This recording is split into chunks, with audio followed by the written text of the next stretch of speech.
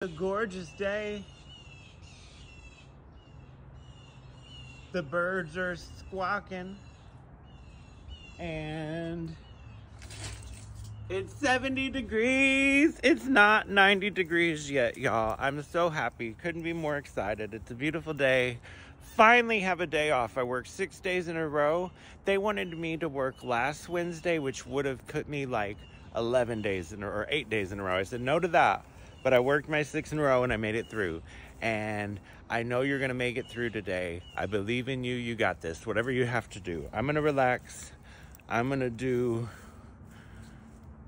whatever I want to do. I'm going to play it by ear today. I'm going to chill. Dad is on his run to the post office or the bank or wherever he's going and he'll be back and we may hang out later today. I may ask him if he wants something for lunch.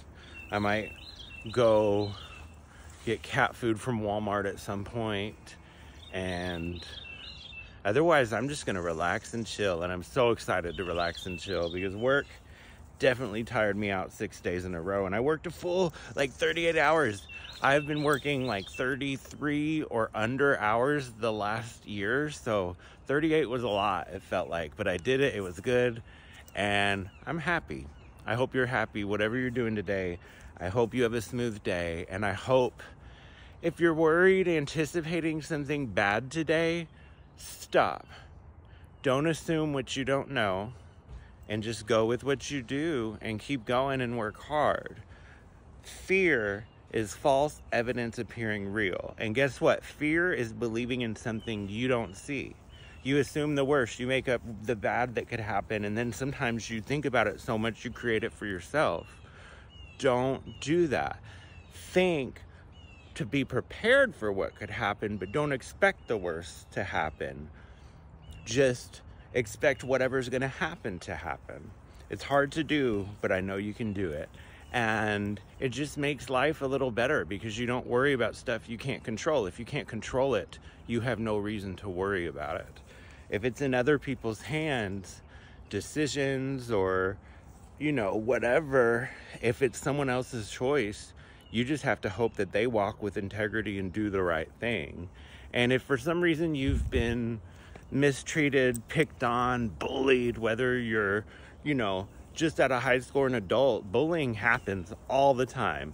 It happens in lots of social circles, circles. It happens in lots of workplace team environments. Some managers are sick and twisted and they even get other leaders to harass somebody for whatever reason they do.